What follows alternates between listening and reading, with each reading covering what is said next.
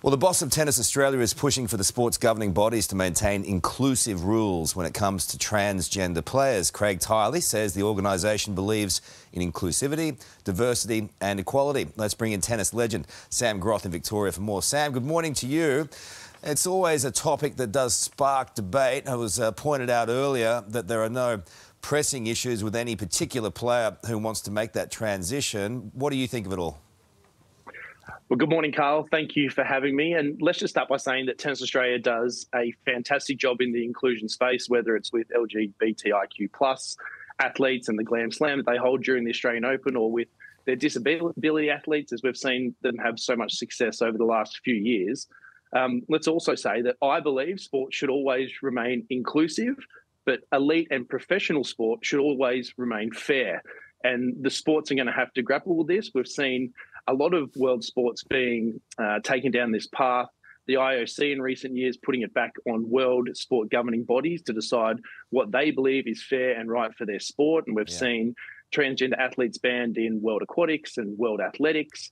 Um, Tennis Australia will go in and advocate on their behalf and what they believe is right, but the final decision will come down to the International Tennis Federation and the WTA. Okay, but what do you think of it? I mean, uh, just, just biologically, from, from a strength point of view, um, for, say, for example, um, in, in, the women's competition, if that happened, um, and what do professional athletes feel uh, about it, and, and what are your thoughts on it? Well, look, Karl, I'm a little bit removed from being a professional athlete, athlete yeah. these days, where I where I sit. Um, look, the sport is in the best chair, eh, the best position to decide what is best for its own sport. Mm. Um, the science, the performance, people will go away and look at this. And as you said, and the reports have been, there's no pressing issues in this space. So it's not a situation where, um, like we saw in recent times with the NBL and the basketball here in Victoria, where there is an athlete trying to make that mm. push to play now. So the sport has time to go away and work out what is right for itself.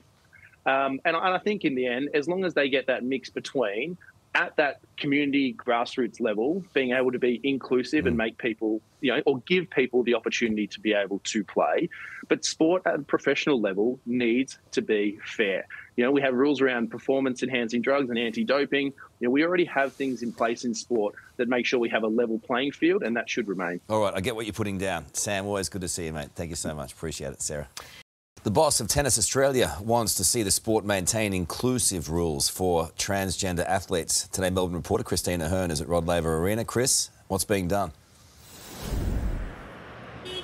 Well, Karl, the Australian Open boss Craig Tiley wants transgender athletes playing at an elite level. So, according to the Age, he's currently talking with the sports governing, governing bodies, so that's the ITF and the WTA, to push them to maintain inclusive rules when it comes to transgender players. This, of course, is an issue that sports right around the world are grappling with, but tennis hasn't had to deal with it directly yet because there is no known transgender tennis player that is looking to play at an elite level, but they are getting ahead of the game. Now, under current rules, transgender players uh, can play at an elite level uh, in the women's tennis competition as long as their testosterone remains under a certain level.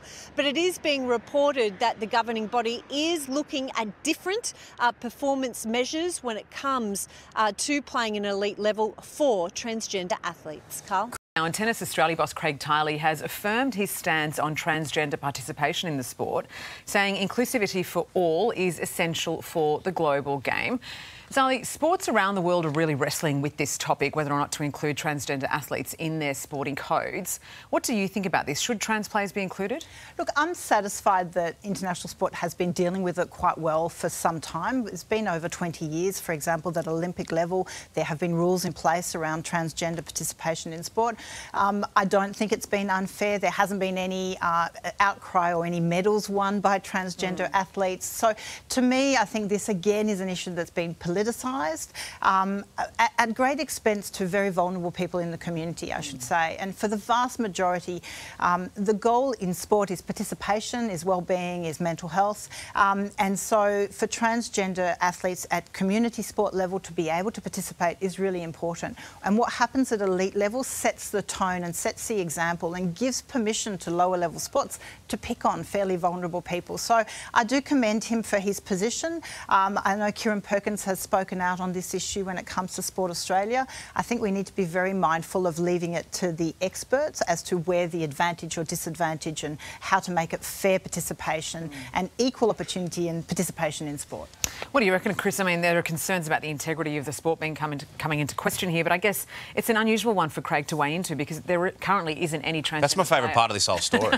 is that there's nobody who's transgender wanting to play elite tennis. So what are we having a big debate about someone that doesn't no one wants to exist. do. So, and this is my whole issue with the transgender in sport debate. Mm. It's clearly that you know 80 70 to 80 percent of the time it's not going to happen at an elite level simply because of biological reasons but it's not happening as is so mm. why are we having a debate about people who are vulnerable very small very small 0.02 percent of the population yeah. why punch down on them when they don't and they're not making a big fuss about this as is. It doesn't make it doesn't and, and to, you know I know we're saying oh it's good for Craig Tiley and all the rest of it, but what's he going into the paper for saying we need to do this mm. when nobody wants him to do it? There's nobody asking him to do it, but I'm gonna I'm gonna go fight on, on behalf of all the transgender athletes that don't exist. I mean, it could be preempting. Maybe he's anticipating what might come.